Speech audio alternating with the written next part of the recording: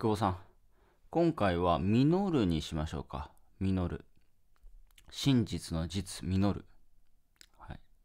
まあ僕はまあネットビジネスね、17年ですか。やってきまして。まあ実りました。実りました。17年やってると。実りました。果実が。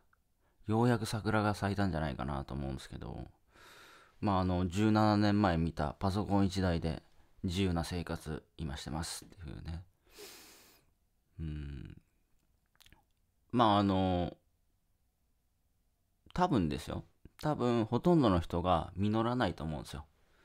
なんか種植えたけど実らないと思うんですね。まあそれは途中でやっぱ、うん、実らない理由っていうのは途中でやっぱやめちゃうからじゃないですかね。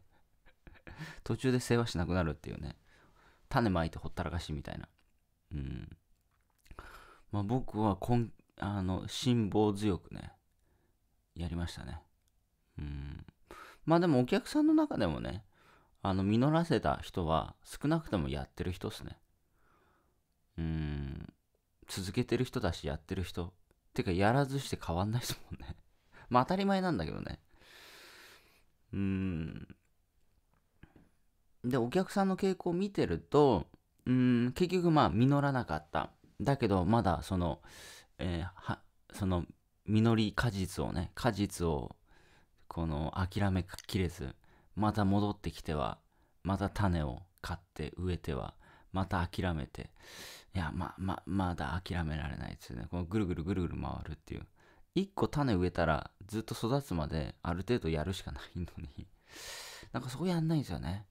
一個種買っては巻いて放置。まあ途中でやめるとかね。まあとりあえず花咲かせるまでやろうよ。実らせるまでやろうよっていう。まあそれをやらないと多分ね、一生無理でしょうね。うん。うんまあ、あとやっぱね、言ったこと素直にやってる人はね、あと、昨日だったら、昨日塾生さんから報告来て、あの YouTube の広告収入が10万超えました、つってね。その人もまあノウハウコレクターだったんですけど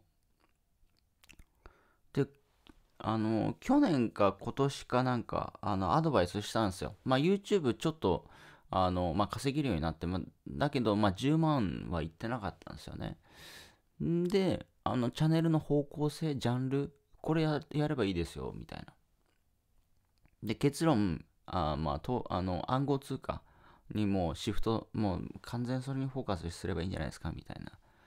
なんかそういう話をして、まあそれにフォーカスしてやって、ですごいのがね、あの、その広告収入もまあ単価高いと思うんですけど、まあ10万いって、プラスその海外から企業案件で、その広告出し、あの、紹介してくれと。で、その1件あたり、その何万とかあって、あの、100万超えたらしいですね。うん、5万だい、なんか紹介動画で3万とか5万、うん、8万とかもあるらしいんですけども、まあ3万で30件やったらまあ90万じゃないですか。